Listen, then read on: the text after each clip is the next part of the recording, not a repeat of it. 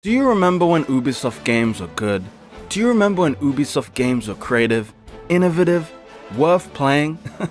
Me neither. Now I'm kidding, that was a joke. But I have two announcements to make. Firstly, I'm bold, I know, I know, shocking, scary, maybe a little bit Andrew Tate, but hey, rip me out the plastic because I'm feeling brand new. New enough to say that two, Ubisoft is the worst gaming company to ever exist. Why? Well, buckle up because here goes any opportunity to get sponsored by Ubisoft. Ubisoft don't make games, they make churned out nonsense and bad financial decisions, like Hyper Scape, a game that no one asked for, made Ubisoft no money, and existed for a whole 20 minutes. Who's gonna tell them that they could have just slapped a BR mode into the Division 2? Ah, see? They're learning. Remember Rayman? Whoa, bro's been trapped on the iPads of six year olds for almost a decade. Rayman Fiesta Run, Adventures, Mini, iOS, Android, bah, f you. All we want is Rayman 4. Murfy promised. But nah, let's make another Assassin's Creed game. Let's copy this guy's homework, but don't make it too obvious. Let's strip away everything people liked about the games. Let's cheat on our wives and then apologize with this shit. A literal mirage of a good game. You, you see what you see what I did there? You, you, you know, M- mirage. Think fast, Chucklenuts!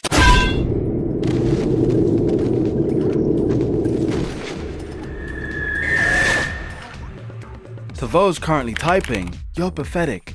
Why are you so mad? You sound like an Ubisoft hater. Yes, I hate Ubisoft. you have the mind of a true scholar. Ubisoft could have disappeared yesterday, and I wouldn't care. No one would care.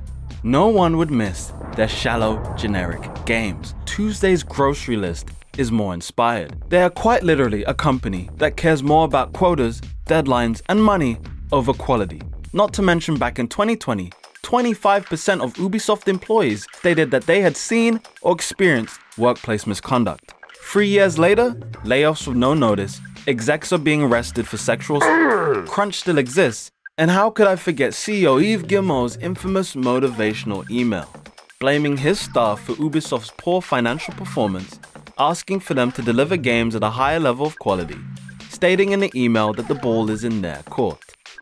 First of all, nigga, grow, okay? Secondly, is your ball. Thirdly, subscribe.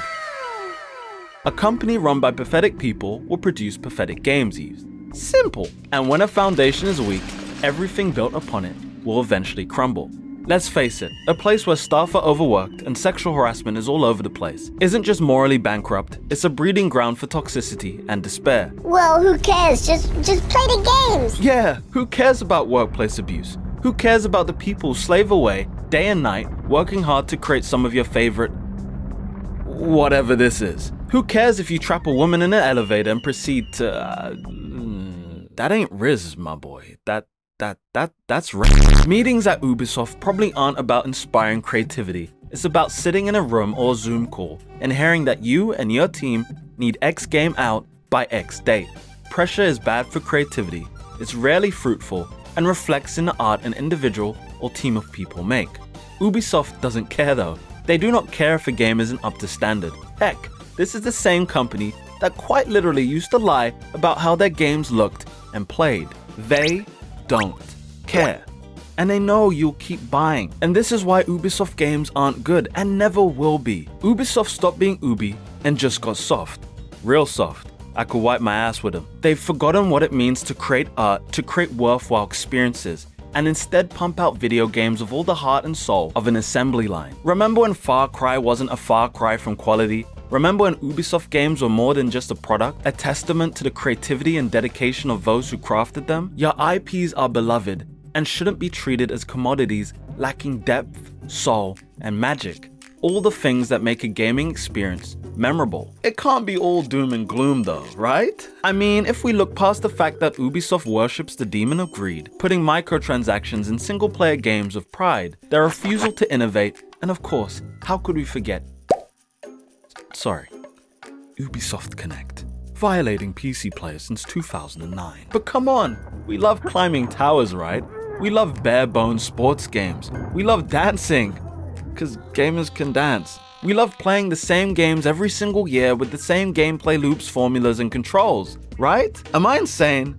Am I seeing things? Because it seems to me that Ubisoft is quite literally holding a magic hat full of some of the best IPs, but insists on pulling out the same two titles. They make money, sure, but that alone doesn't excuse that the titles we long for remain dead, buried, and lost. No, not not not that lost. Splinter Cell's dead, Driver's dead, Beyond Good and Evil seemingly held at gunpoint. After redeeming themselves with a great sequel, Watch Dogs Legion made sure to kill what could have been one of Ubisoft's most lucrative IPs. Ghost Recon, quality-wise, is dead. Rayman's dead. Goodness, he killed them all. Someone get this man featured in a JCS video. Psst, real talk though, just give me another Rayman game, and we'll be square Ubisoft. I'll, I'll delete this whole video. But until then, I'ma keep spinning the block, nigga, on Phonem. you wanna know what really makes me laugh though? The fact that Ubisoft actually tried their hand at NFTs. I swear someone running this company is snorting crack and crystal. I mean, seriously? NFTs? Ubisoft, the company that can't even make a game worth playing, thinks they can delve into the world of blockchain technology? Ah, it's it's like watching a toddler try and pilot a spaceship. Oh, oh wait. A toddler is actually trying to pilot a spaceship. But wait, there's more. Ever had an issue with an Ubisoft game? Good luck and Godspeed. Try shouting into the void with the hopes that someone might hear you. You have a better chance of seeing the second coming of Christ, amen, before you'll ever hear back from Ubisoft. They'll gladly take your money, but when it comes to addressing your problems, and no, I'll not be inserting a Black Father joke, but I will be calling into question the fans. You know what? I'm about to say it. You are all clowns. You belong in a dorm full of privileged frat boys because you're being exploited and you're letting it happen. The mental gymnastics required to convince yourselves that Ubisoft is still a good company that makes good games. It must be exhausting. Imagine for a second defending a company that clearly doesn't care about you. Ubisoft is laughing all the way to the bank, knowing they can slap together any half-baked game and you'll eat it up like it's a gourmet meal. However, no Michelin stars are attached to Assassin's Creed or Far Cry anymore. It's all rotten. Yet you keep waiting for another meal, one with promise of innovation. Yet time and time again, all you receive from Ubisoft is mediocrity. It's as if you've fallen in love with your own disappointment. You'd think the company has a PhD in gaslighting. They release games riddled with bugs, cut content, and microtransactions, yet somehow they convince you it's your fault for not enjoying the experience. They make you question your own standards. They make you defend them as if they're family. But let me remind you, they're not.